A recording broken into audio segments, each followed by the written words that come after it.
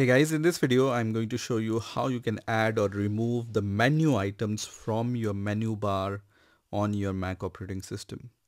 So this is the menu bar on the top and let's say I want to add some icon or remove some icons from the menu bar. How can I do it? Let's see. So first of all you need to click on this Apple logo and then click on system settings here. You can also see the system settings icon here uh, when you click on that it's also going to open the same window. On the left hand side in the menu just scroll down where you will see the control center option. So just click on that. And here you will see the list of all the tools which you can show or hide on the menu bar.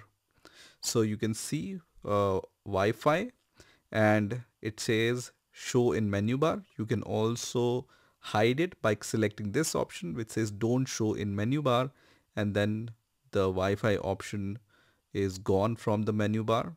If I want to bring it back, I can just select show in menu bar and then this Wi-Fi logo is back. From here uh, itself, you can control the other settings related to that tool. Let's uh, take an example of Bluetooth. I will just select show in menu bar and you can see this uh, Bluetooth icon is visible. And from here itself you can enable or disable the Bluetooth. And then if you want to go into the settings of Bluetooth just click on Bluetooth settings and it's going to go into the Bluetooth settings section right?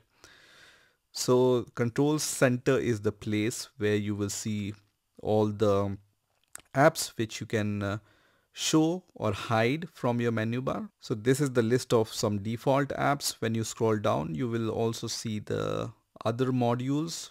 For example, accessibility shortcut. When I just select this toggle button, it's going to show the accessibility shortcut on my menu bar. I can disable it and it will be gone, right?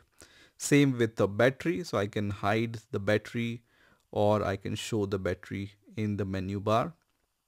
Also, you have other uh, tools like hearing and fast user switching. Also, you have the keyboard brightness option. So when I enable it, we have the keyboard brightness option in the menu bar itself. Also, you have this menu bar only uh, tools like clock, spotlight, Siri and time machine right? So you can also enable or show this uh, Siri uh, logo on the menu bar and if you want to remove it or hide it just select don't show it right? So this is how you can add or remove the items from your menu bar. I hope you enjoyed this video and I will see you in the next video